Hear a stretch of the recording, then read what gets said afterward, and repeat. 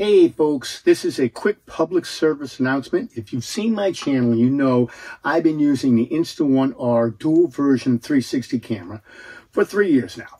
Well, recently I purchased the InstaOne 360 X3 simply because of the new invisible selfie stick capability. There are a few things that they don't tell you. You may have issues getting the Q button to work. This allows you to start and stop the recording while underwater. This is a firmware issue. Make sure you install the right one. You are asked to use the InstaOne app on your phone to upgrade the new device and its firmware as soon as you get it. I did it. I have an iPhone 14 Pro. The latest version shows as version 1.0.68. If you follow the instructions, verify the firmware on the camera and that it shows what is on your phone. If you load it, it will load 1.0.68. Looks great, right? Until you press the Q button. It will send you to a selection menu for the older quick shot mode which has items like skiing and other customizable settings, including scuba. I don't know why they got rid of these. These are no longer available. Hopefully they'll bring them back in a new issue. If you have the underwater selfie package, okay, that's not going to help you if you're trying to use it. Here's what you have to do. You need to get version 1.0.8. Trying to get that using your phone won't work.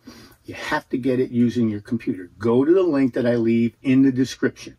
Then follow the steps to download to your computer. Once the bin file is on your computer, turn on your new X3, swipe down in the shortcut modes and go to settings and select USB mode dash U disk mode. Then connect the X3 with the type C cable they gave you to your computer go to file mode and find your new X3, drag the bin file onto the SD card. Don't put it in a DCIM folder or any other folder. Just add it to the card. They'll tell you to delete the old firmware bin, but if you have a new card, there won't be one, so just ignore that.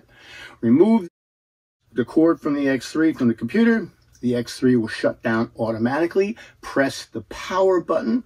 Once the X3 is on, it will begin the firmware upgrade.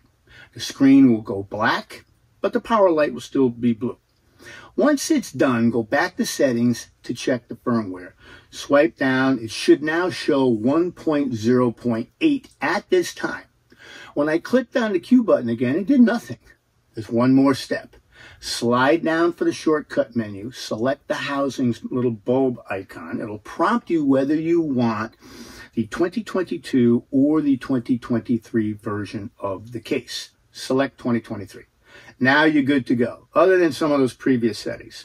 If you already had the X3, the Invisible Selfie bundle did not come with a charging station or extra batteries. You can pick them up online.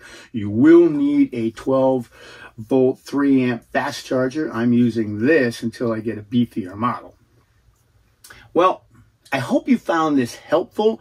I will be playing with mine shortly, so look for some upcoming videos. Go have fun with your new X3, and I'll see you next time.